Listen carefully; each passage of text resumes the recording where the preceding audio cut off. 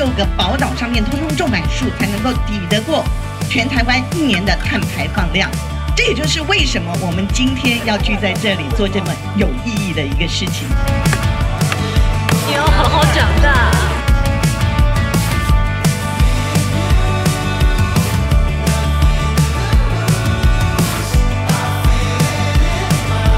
看之前，我 AI 去判断脏乱的成分是百分之三十五。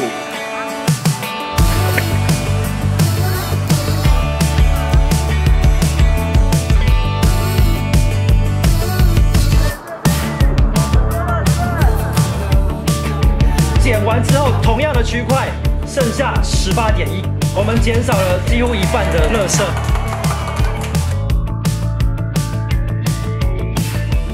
人们理解它吗？我们懂得它吗？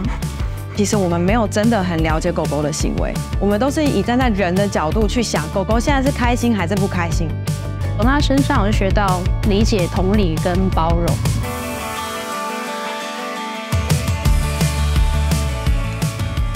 那谁帮他们做协会？开始的目的是希望说，不管是现在的领犬员，还是是退休的工作犬领养者，我会希望说，我多给他们一些知识跟准备，我们一起来 take care 这些曾经为台湾服务的工作犬。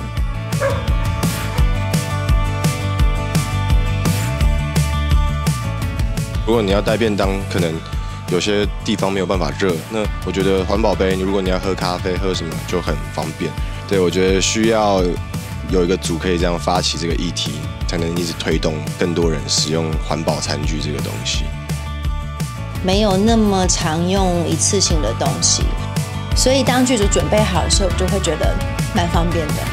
失去了笑容的地球，还能再等我们多久？在也有世界遗产遭殃了啊！它的位置其实真的已经叫做遗世独立了，但这样的小岛居然也会被垃圾侵害。就想要开发一个可循环再利用的绿色素材，因此我们就找到了这个叫 PET 的材料，用完的时候我们加热到两百多度就可以重新再塑。减速行动不止菜贩自身做起，民众也自发性携带环保购物袋。我们很喜欢客人自备购物袋。我们会送他葱或姜，你成我，成他，最后就会乘以无限大，一起创造无数个美好未来。